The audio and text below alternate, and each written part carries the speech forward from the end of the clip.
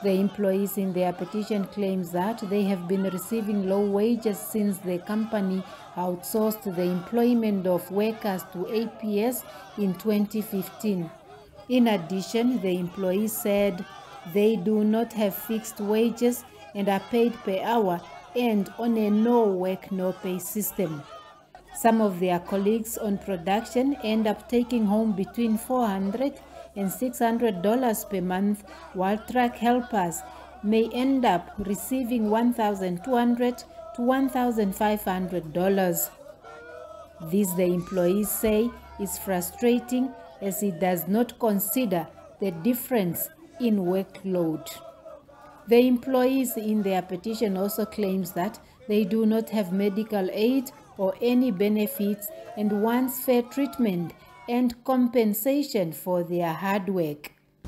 We are not working for APS, but APS is a crook company that is confiscating our salaries.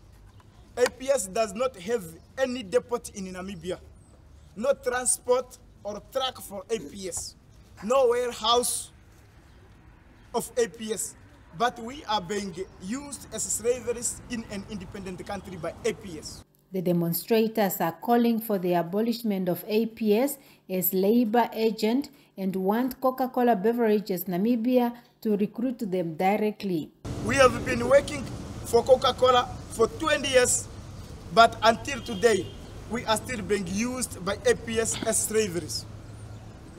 To compare the salary from those working in Coca-Cola company a driver of loading truckers with the one of APS, there is a big difference, but all they are doing same work.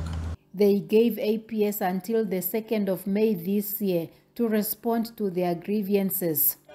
The employees further want action taken against their supervisor, Gabriel Shishiveni, who they accuse of making decisions without workers' inputs and of using abusive languages towards them.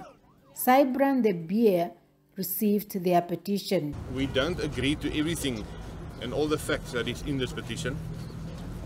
Some of the facts are definitely wrong, but we will respond to it as requested by the deadline that you've given us. I hope that we can resolve the issues because as an employer, uh, one of the largest employers across this country, of people. We want people to be happy.